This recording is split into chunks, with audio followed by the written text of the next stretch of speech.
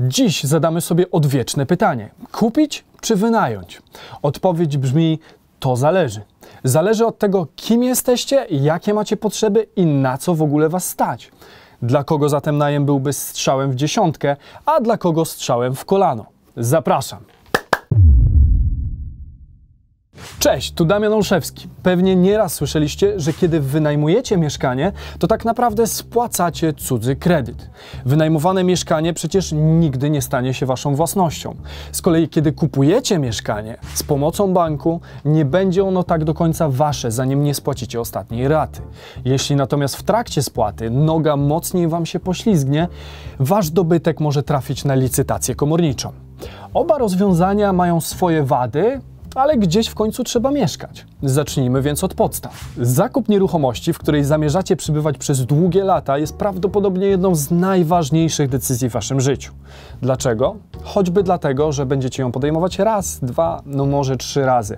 To tutaj będziecie wychowywać swoje dzieci, stąd będziecie dojeżdżać do pracy i to tu będziecie spotykać się z rodziną i przyjaciółmi.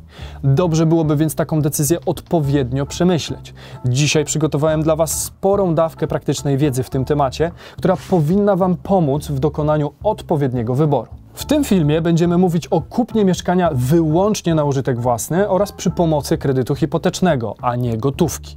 Z kolei na poradę jak zarabiać na nieruchomościach będziecie musieli jeszcze chwilę poczekać. W Polsce kupno mieszkania traktuje się jako pewną lokatę kapitału. W sumie rozumiem to podejście. Spłacane mieszkanie można traktować trochę jak skarbonkę, do której jesteśmy zmuszeni płacić ciągle pieniądze, Później tą samą skarbonkę będą mogły rozbić nasze dzieci czy wnuki, gdy przekażemy im w pełni własne, spłacone już mieszkanie. Takie postrzeganie sprawy ma oczywiście sporo sensu, jednak nie zawsze będzie odpowiednie. Zauważyłem, że większość materiałów o omawianej dzisiaj tematyce skupia się na liczbach, próbując matematycznie udowodnić, która opcja jest tańsza. Gdyby zastosować się do tej retoryki, cały ten film mógłbym skrócić do jednego zdania. Najem jest droższy, bo wszystko płacisz do cudzej kieszeni. Tyle. Nikt nie zastanawia się przecież nad tym, w której z dwóch skarbonek będzie więcej pieniędzy, jeśli razem z właścicielem wrzucamy monety tylko do jednej. Według statystyk Eurostatu w Polsce wynajem przestaje się opłacać po 15 latach. Mniej więcej tyle czasu trwa wyrównanie się wysokości czynszu z kwotą kredytu, jaką w międzyczasie moglibyśmy spłacać za własne M. Czy to oznacza, że nie warto wynajmować? Zupełnie nie. Wynajem, mimo że obiektywnie droższy, może być użyteczny. Kto zatem wynajmuje mieszkania i dla kogo będzie to sensowne? Przede wszystkim dla ludzi młodych. Pokoje i mieszkania, które sam wynajmuję, zwykle zamieszkiwane są właśnie przez studentów, młode pary i osoby, które dopiero rozpoczynają życie zawodowe. Dzieje się tak z kilku przyczyn. Pierwsza to brak zdolności kredytowej. Osoby bez pracy, pracujące weekendowo i świeżo zatrudnieni raczej nie dostaną kredytu na mieszkanie. Kolejnym czynnikiem jest wygoda, czyli brak zobowiązań i przywiązania do jednego miejsca. Możliwość wyboru i zmiany, kiedy tylko uznamy ją za potrzebną, bądź wymusi ją na nas życie. Jeśli szukamy jeszcze swojego miejsca albo pracujemy raz w jednym mieście, raz w innym, to wynajem może być najlepszym rozwiązaniem. Jest to też rozsądny start w dorosłość. Można zobaczyć, czy dobrze żyje nam się daleko od domu rodzinnego, albo sprawdzić chociażby, jak żyje nam się z drugą połówką. Jak to stare przysłowie mówi, kredyt wiąże mocniej niż małżeństwo. Warto więc odbyć taką próbę, zanim połączycie się na dobre i na złe 30-letnią hipoteką. Jeżeli macie jakieś konkretne pytania dotyczące takich kredytów, skontaktujcie się ze mną tutaj. Mówi się też, że własne mieszkanie to inwestycja. Czy aby na pewno? Po pierwsze, warto wiedzieć, że mieszkanie kupowane na własne potrzeby, wbrew powszechnemu przekonaniu, nie jest aktywem. To znaczy, że w momencie, gdy je spłacasz i w nim mieszkasz, nie przynosi ono pieniędzy do Twojego portfela.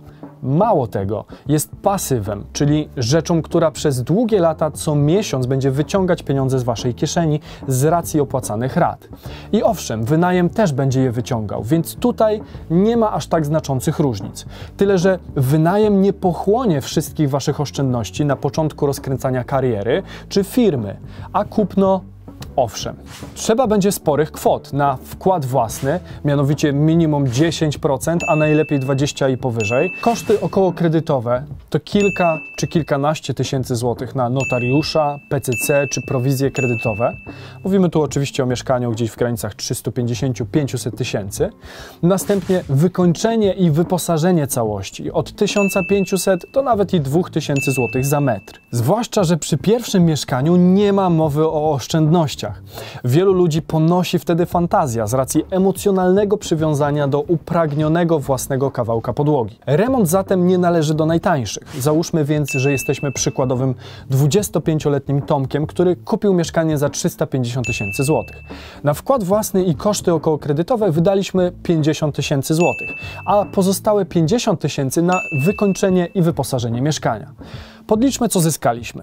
Na moje oko mamy teraz wspaniałe mieszkanie, zrobione pod siebie i systematyczne zobowiązanie na najbliższe 25 lat. A czego już nie mamy? Nie mamy 100 tysięcy złotych i zdolności kredytowej. To jest dla naszego Tomka olbrzymi koszt alternatywny. Czy macie świadomość, ile młody, operatywny człowiek mógłby zrobić dla swojego rozwoju z taką kwotą i zdolnością? O ile więcej miałby okazji do otwierania firm, uczenia się na błędach czy szkoleniach z różnych dziedzin. Teraz natomiast ma te pieniądze schowane w zimnej cegle czy pustaku. Broń Boże, inwestycja w mieszkanie nie jest sama w sobie zła. Jednak to, że zrealizował ją na tym etapie swojego życia, zwyczajnie nie było najlepszą formą wykorzystania kapitału w jego przypadku. Powiem więcej, ta decyzja niepotrzebnie spowolniła jego rozwój w obszarach o wyższej stopie zwrotu. Oczywiście mówimy tu wyłącznie o sytuacji, w której Tomek ma zamiar sam zamieszkać i opłacać to mieszkanie, zamiast na przykład je wynajmować. Sumując te wszystkie koszty, pewnie zastanawiacie się, skąd nasz przykładowy Tomek mógł mieć takie pieniądze. Nie wiem i nie chcę wiedzieć. Mam jednak nadzieję, że nie wykorzystał do tego mojego filmu na temat prania brudnych pieniędzy, który znajdziecie tutaj. Kiedy zatem warto byłoby wynajmować mieszkanie? Po pierwsze, kiedy nie stać Was na kupno. W takim przypadku decyzja niejako jest wymuszona. Mieszkania są w Polsce coraz droższe, nie każdy może więc sobie pozwolić na zakup, ponieważ na kupujących za pomocą kredytu nałożone zostały wcześniej wspomniane wymogi. Dodatkowo musicie mieć zdolność kredytową. To znaczy, że musicie być zatrudnieni lub prowadzić własną firmę i stabilnie zarabiać wystarczająco dużo. Wszystko po to, aby bank uwierzył, że jesteście w stanie poradzić sobie z systematyczną spłatą rat.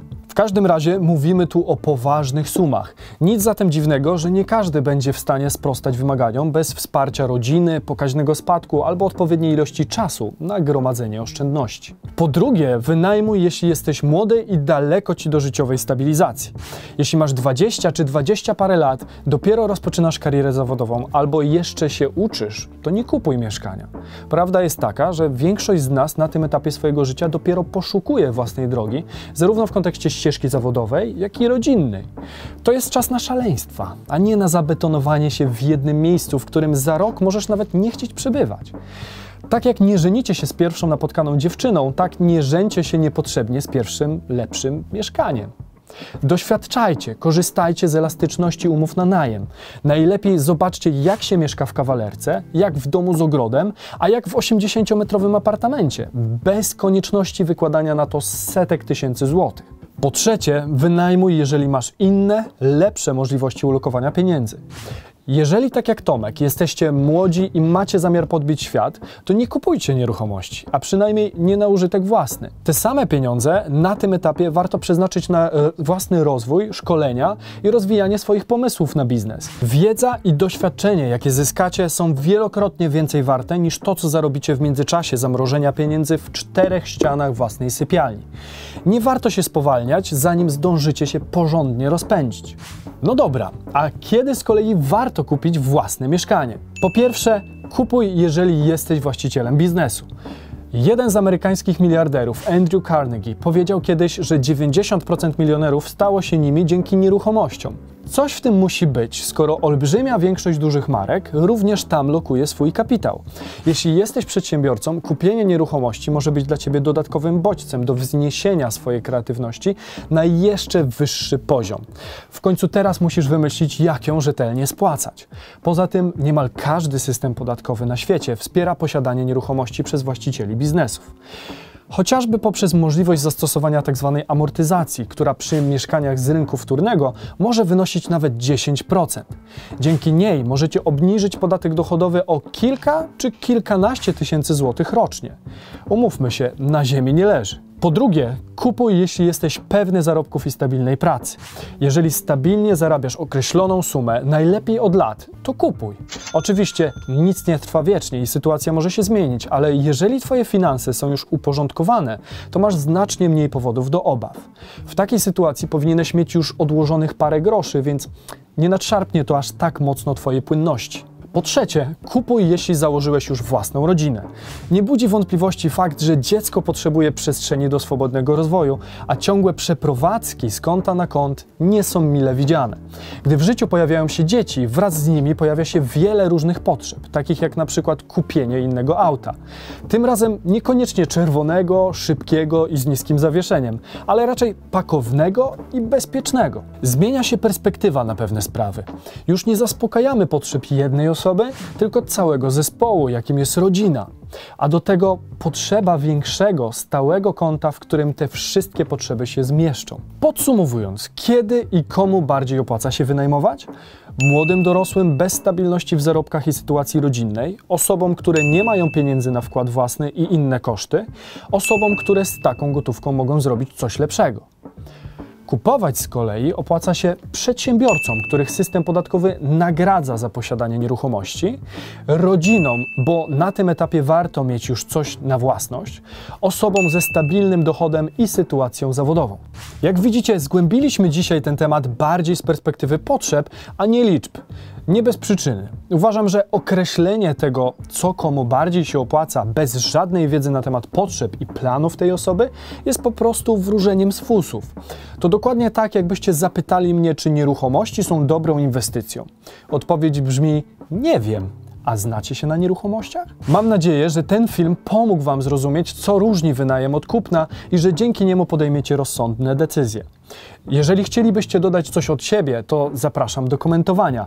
Jeżeli macie zamiar zostać na dłużej, zasubskrybujcie kanał tutaj, a poprzedni film znajdziecie tutaj. Do zobaczenia w środę o 17. Cześć!